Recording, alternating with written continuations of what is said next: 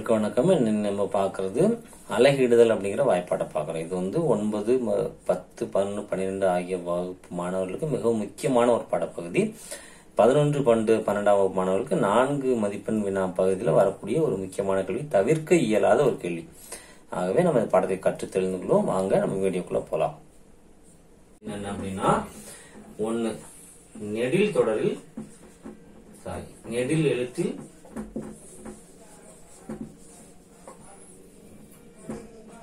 பிரிக்க வேண்டும். அதாவது இப்படி ஸ்லாஷ் போடுங்க. ரெண்டாவது என்ன பண்றீங்க அப்படின்னா இரண்டு குறில் அதுல அடுத்து இப்படி ஸ்லாஷ் போடணும். மூன்றாவது விதி என்ன அப்படின்னா ஒற்றெழுத்து. அதாவது புள்ளி வச்ச எழுத்து பக்கத்துல இப்படி கோடு போடணும். இது மூன்று முக்கியமான விதிகள். இந்த விதிகளுக்கு அப்புறம் இன்னும் ஒரு விதி இருக்கு. என்ன அப்படின்னு சொல்லி கேட்டீங்கன்னா இந்த ரெண்டு இருக்கு. நான்காவது என்ன அப்படின்னா நெடில் எழுத்துக்கு அப்புறம் ஒற்றெழுத்து வந்தா. வந்தா கையெழுத்து போடணும். ஒற்றெழுத்து கோடு போடணும். ஒற்றுன்னா நமக்கு தெரியும் புள்ளி வச்செழுத்து அதான் அதே மாதிரி எப்படி வரும்னா குரில் அடுத்து ஒற்று.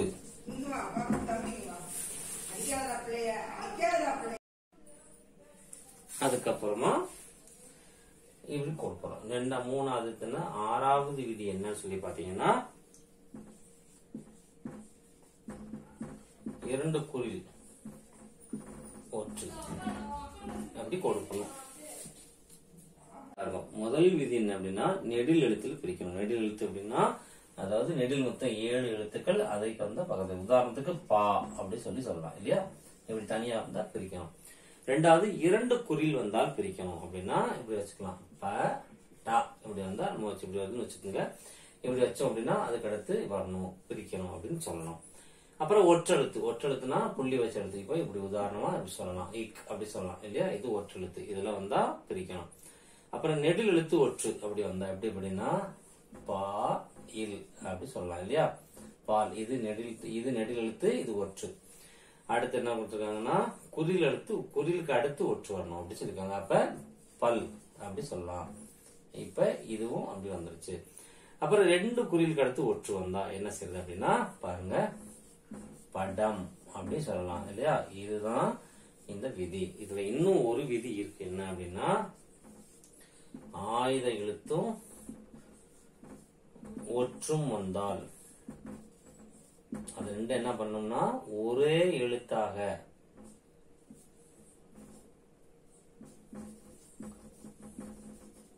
எழுத்தாக கொள்க. இதுதான் முக்கியமான ஒரு விதி. சரியா? இவ்வளவுதான். இதுக்கப்புறம் சின்ன சின்ன விஷயங்களை நம்ம தெரிஞ்சுக்கிட்டோம் அப்படின்னா நம்மளால என்ன செய்ய முடியும் அப்படின்னா நம்ம வந்து நிச்சயமா அதை வந்து சரி செய்ய முடியும். எளிதாக மதிப்பெண்கள் பெற்றுவிட முடியும். இப்ப அடுத்தாப்புல பார்க்க போறது என்ன அப்படின்னு சொல்லி பாத்தீங்கன்னா அதோட தொடர்ச்சியாக சில விஷயங்களை நம்ம பார்க்க போறோம். அது என்னென்ன சொல்லி பாத்தீங்க அப்படின்னா ஃபர்ஸ்ட் ஆஃப் ஆல் நம்ம என்ன சொல்லுவோம் அப்படின்னா ஒரு குறில் அப்படி சொல்லி வருதுன்னு வச்சுக்கோங்க குறில் எழுத்துக்கு வந்து நம்பர் ஒன் அப்படின்னு ஒரு எண் கொடுங்க. அப்புறம் வந்து நெடில் அப்படி வச்சுக்கிட்டீங்கன்னா அதுக்கு வந்து நம்பர் ஒன் அப்படி ஒரு நம்பர் கொடுங்க. அப்புறம் ஒற்றெழுத்து வந்தா ஜீரோ அப்படின்னு ஒரு நம்பர் கொடுத்துருக்குங்க இது வந்து நமக்கு எதற்காக வரும்னு சொல்லி கேட்டீங்கன்னா நம்ம வந்து பிரிப்பதற்கு மிக எளிதான ஒரு வழி. சரியா? இதுல வந்து நமக்கு எப்ப எப்படி இது எப்படி நம்ம எழுதுறது அப்படின்னா நல்லா கேட்டுங்க ஒன்னும் ஒன் ஜீரோ வந்தா அது நேர்.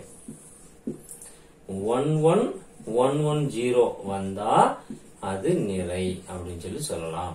இது எப்படி அப்படி சொல்லி எடுத்துக்குவோம்? நம்ம முதல்ல விதியில பார்த்தோம் இல்லையா? ரெண்டு ஒரு நெடில் எழுத்தில் பிரிக்கணும் அப்படின்னு சொல்லி பார்த்தோம். அப்ப நெடில் எழுத்து இப்படி இருக்குன்னு வச்சுக்கோங்க. பா ட இம் அப்படி இருக்குன்னா இங்க நம்ம நெடில் எழுத்துல பிரிக்கணும். அப்ப இந்த நெடில் எழுத்துக்கு ஒன்னு அப்படின்னு போட்டுக்கிறோம். சரி அதுக்கப்புறமா இந்த குறில் எழுத்துக்கு நம்ம என்ன பண்ணணும் ஒரு இந்த பிறகு குறில் எழுத்துக்கு ஒன்னுன்னு போடுறோம். அப்போ இங்க என்ன வருதுன்னா அடுத்து இம் ஒற்றெழுத்துக்கு ஜீரோ. அப்ப இது எப்படி வருது அப்படின்னா ஒன் கமா ஒன் ஜீரோ அப்படி வந்துருது இல்லையா? அதாவது இது நம்ம இப்படி பிரிச்சு இப்படி பாக்குறோம் ஆக்சுவலா இது ஒரே வார்த்தை அப்படிங்கறனால இது இப்படி வரும் இல்லையா? அப்ப இது வந்து ஒன் ஒன் ஜீரோ அப்படி வந்தா இது நிறை அப்படி சொல்லி நம்ம முடிவுக்கு வந்து விடலாம். இது மிகவும் எளிதான ஒரு வழி. சரி இப்ப நேருக்கு ஒன்று பார்க்கலாம். பல் அப்படி சொல்லியிருக்கு. இப்ப குறில் ஒற்று அப்படி சொல்லி வந்தாச்சு இல்லையா? அப்ப குறில் ஒற்று வந்தா ஒன்னு ஜீரோ அப்படின்னு போடுவோம். அப்ப ஒன் ஜீரோ வந்தா அது நேர் அப்படின்னு சொல்லி நம்ம என்ன பண்ணிடலாம்? முடிவுக்கு வந்து விடலாம். இது அடுத்த ஒரு ஷார்ட்கட்டான வழி. சரி அடுத்து இன்னும் ஒன்னு இருக்கு அதையும் பார்த்துருவோம். அப்படின்னா நம்ம வல்லின குச்சி குச்சியில் ஓரத்தொடர் அப்படின்னு சொல்லி நம்ம சொல்லி படிச்சிருக்கோம் இல்லையா? அதுல என்ன இருக்குன்னா கு சு டு ரு உ, ரு. இந்த எழுத்துக்களில் ஏதேனும் ஒன்று நம்ம திருக்குறள்ல இருக்கக்கூடிய திருக்குறள்ல கடைசி எழுத்தாக வருமாய் வறுமையானால் அப்ப திருக்குறள்ல கடைசி எழுத்து நமக்கு என்னன்னு தெரியும். ஒரு நிறைய அது வரும் இல்லையா? அப்ப உதாரணமா எடுத்துக்கிட்டோம் அப்படின்னு சொல்லி பாத்தீங்கன்னா ஒரு திருக்குறள் எடுத்துக்கலாம். இப்ப எப்படி அப்படின்னா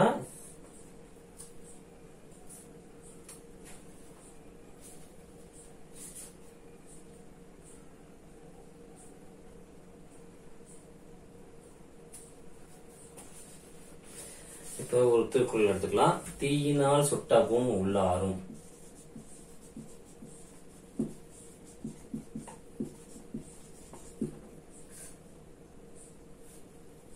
சுட்டப்புங்கிறது ஒரே வார்த்தை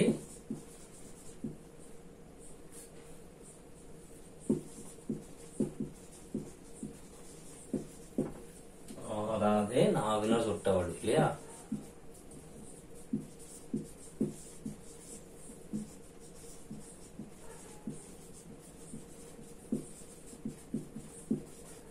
இப்ப பாருங்க.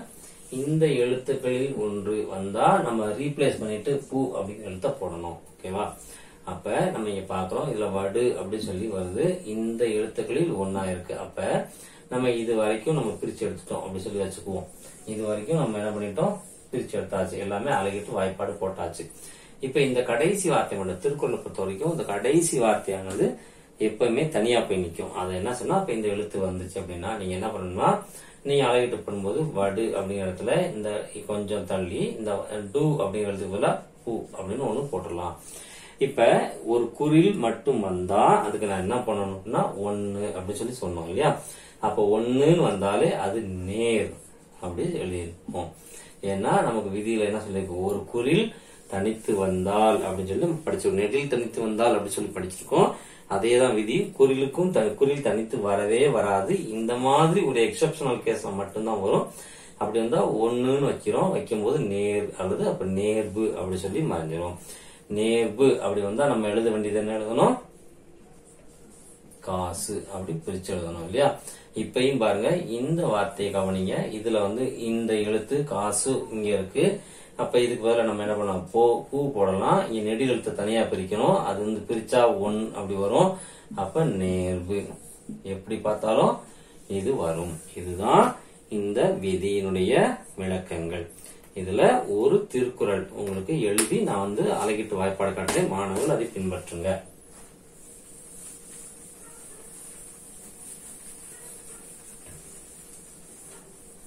இதுல இன்னொரு இருக்கு நம்ம எல்லாமே படிச்சிருப்போம். நேர் நேர் தேமா அப்படி படிச்சிருக்கோம் நேர் நேர் அப்படி வந்தா தேமா. அது நமக்கு எல்லாருக்கும் தெரியும். இல்லையா? அடுத்து நிறை நேர் அப்படி வந்தா என்னது?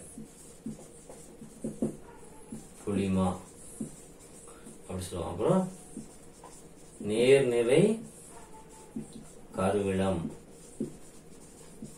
அப்புறம் நிறை வந்தா என்ன வரணும் அதுல? நிறை நேர் வந்தா பூவிளம் இல்லையா? அது வந்து அப்படின்னு சொல்லி வந்துடும் இதுதான் நமக்கு முக்கியமான ஒன்று. பாருங்க. நிறை நேர் அப்படின்னா நமக்கு புளிமா நே நிறை நேர் நேர் அப்படிங்கிறது புளிமாங்காய். அப்புறம் வந்து நிறை நிறைங்கிறது கருவிளம் இல்லையா? கருவிளம் வந்துருது. அப்புறமா என்ன வந்துருச்சு உங்களுக்கு?